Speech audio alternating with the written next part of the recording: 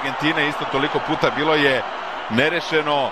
E, Argentina je slabo igrala u kvalifikacijama za svetsko prvenstvo, ali ako je neki meč e, dobro terenu bio Leo Messi zajedno sa Tevezom, Rikelmeom, Gagom, Zanetijem i ostalim igračima.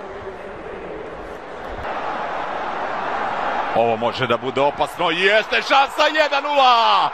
Martinez! Kako je pogodio futbaler Meksičke Amerike! Prvu šansu u drugom poluvremenu Kolumbija koristi.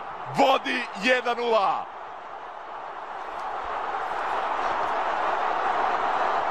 Kakav je ovo projektil bio Martineza? Igrač koji je ušao u prvom poluvremenu, zamenio povređenog Murijela. Kako je raspalio... Messi direktno. Martinez, Lerma 2-0, Zapata! Duvan Zapata 2-0, 86. minut. Kolumbija osvaja tri boda. Svašta smo gledali u futbalu, naravno. Ima još da se igra bar 4 minuta plus još 3 nadoknade, ali Argentina je u knockdownu pred knockout.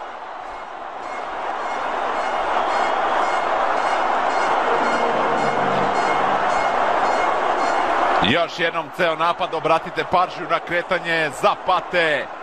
I onda između Pecele i